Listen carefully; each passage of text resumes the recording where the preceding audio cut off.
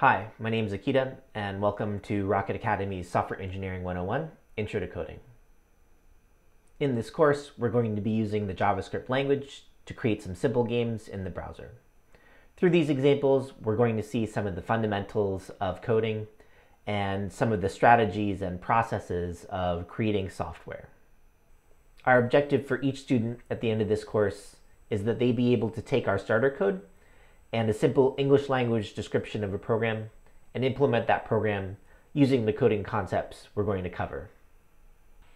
The organization of the materials and exercises in this course is motivated by Bloom's taxonomy, which describes the levels of knowledge needed to master a subject. We hope that all our students are able to attain the level of apply, which means that they can take the high level concepts that we're going to cover in this course and be able to apply them to create a piece of working code.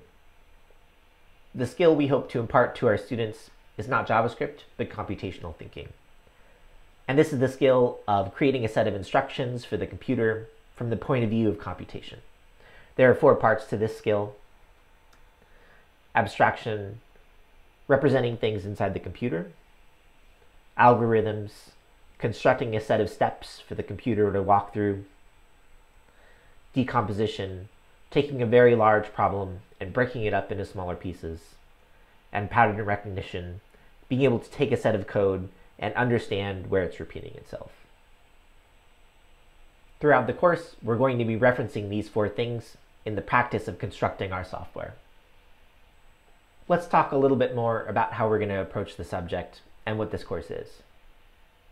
There are many different approaches to teaching this field of computer science, software engineering, coding.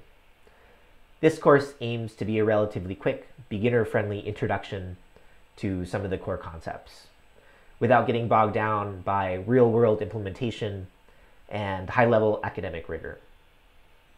We aim to cover the concepts fundamental to all coding and not get into the details of building a real world system.